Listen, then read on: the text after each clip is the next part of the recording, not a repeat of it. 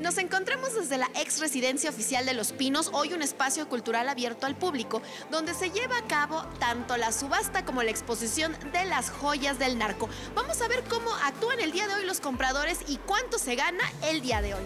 Tengo 85 a la una, 85 a las dos, vendido en 85 a la paleta número, me la muestra por favor.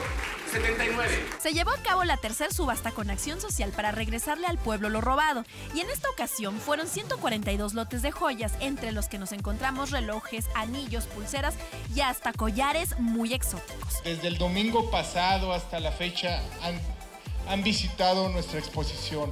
Aproximadamente 10.000 personas son las que han eh, venido a ver las joyas. Como dijo el señor presidente, pues quien hoy compre un bien hará un bien y ese es el objetivo de las subastas con carácter social.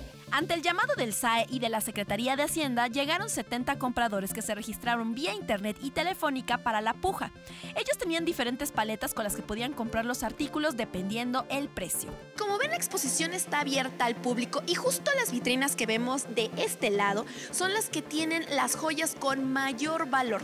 La puja ha sido, la verdad, bastante dinámica, la gente está participando y están ofreciendo muchísimo dinero.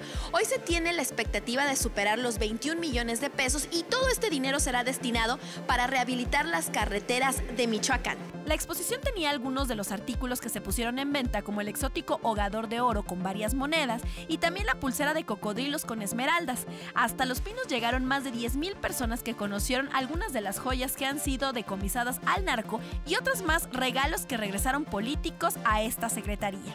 Pese a que se esperaba recaudar 21 millones de pesos, la subasta solo logró juntar apenas 13 millones.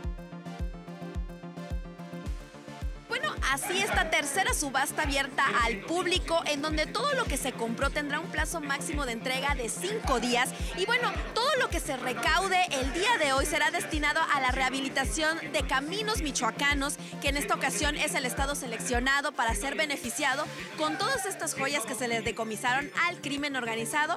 Yo con esto me despido con imágenes de Mario Valeriano, informó para el almohadazo Iraí Rasgado.